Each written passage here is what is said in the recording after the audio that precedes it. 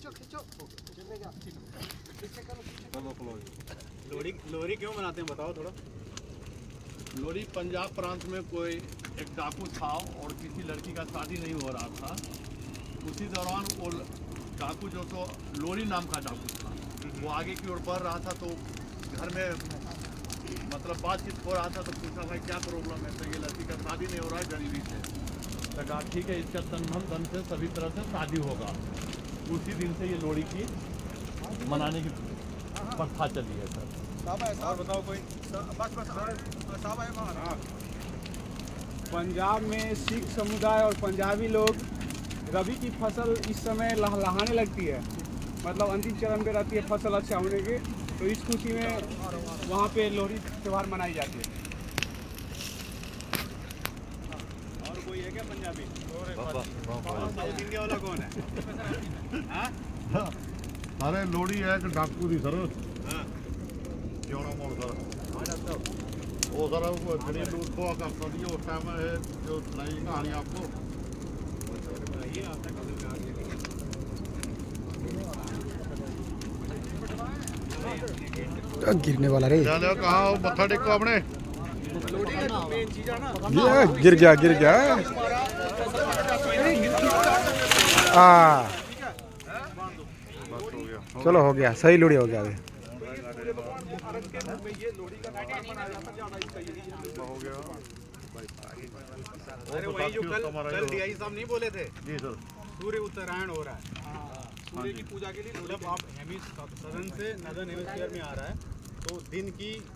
बढ़ोतरी होगी। बढ़ोतरी होगी लंबा होगा।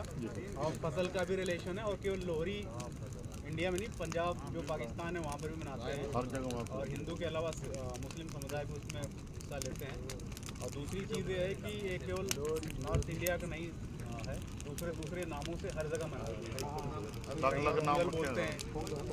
मिडिल इंडिया में बोलते हैं मकर संक्रांति पोंगल। ओणम भी है क्या? कोई केरला वाला है?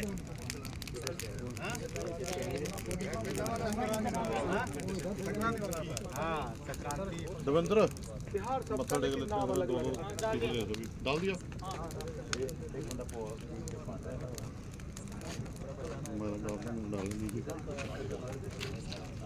इस कैमरा घुमाना मेरा तरफ़ फ़ोटो आना चाहिए। वीडियो हो रहा है?